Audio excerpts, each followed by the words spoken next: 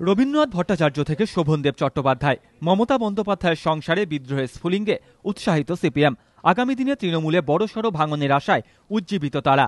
রাষ্ট্রপতি নির্বাচনে একদম শেষ লগ্নে এক প্রকার বাধ্য হয়ে মমতা বন্দ্যোপাধ্যায় ইউপিএ প্রার্থীকে সমর্থনের ঘোষণার পর বিরোধী দলনেতা সূর্যকান্ত মিশ্র কটাক্ষ করে বলেছিলেন, তৃণমূলের মধ্যেই একাংশের চাপ ছিল মমতার উপর। রবীন্দ্রনাথ ভট্টাচার্যের বিস্ফোরক মন্তব্য এবং শোভনদেব চট্টোপাধ্যায়ের প্রয়োজনে দল ছাড়ার ভাবনার ইঙ্গিতের পর আরও এক ধাপ এগোলেন সূর্যকান্ত মিশ্র।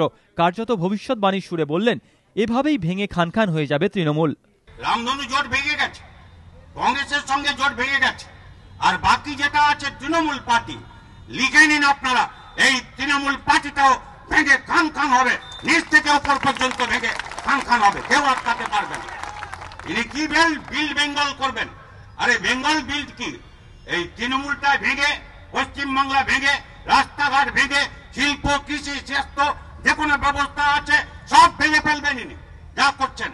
রাজনৈতিক মহলের ব্যাখ্যা, মমতা বন্দ্যোপাধ্যায় দলের অভ্যন্তরীণ সমস্যা সামলাতে যত বেশি ব্যস্ত হয়ে পড়বেন, ততই তাঁর ওপর চাপ আরও বাড়ানোর সুযোগ পেয়ে যাবে সিপিএম। তাই রবীন্দ্রনাথ ভট্টাচার্যের মতো বর্ষিয়ান বিধায়ক এবং শোভনদেব চট্টোপাধ্যায়ের মতো আদি তৃণমূলীদের বর্তমান ভূমিকা তাদের উৎসাহিত করেছে।